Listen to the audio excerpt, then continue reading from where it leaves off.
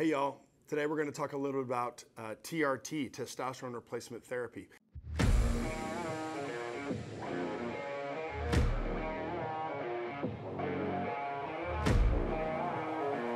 In men, this is the primary hormone that makes us men, and the symptoms of low T are, are quite extensive.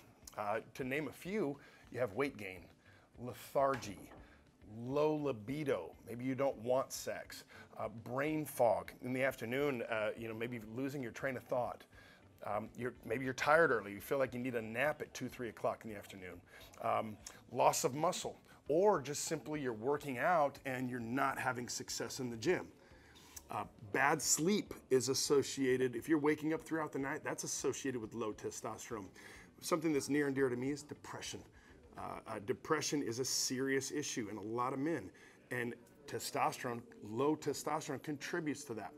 And amongst all of it is stress. The biggest thing that robs us of our testosterone is cortisol. Cortisol is the fight or flight, the stress hormone. And the more stressful stress you have in your life, the more cortisol is released. And cortisol binds to testosterone receptors and literally robs you of your testosterone.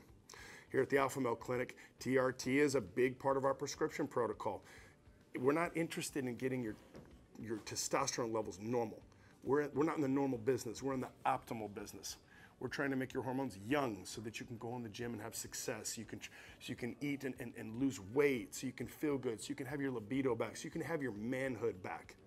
Ask us more about it. We want to, we want to teach you how this will change your life.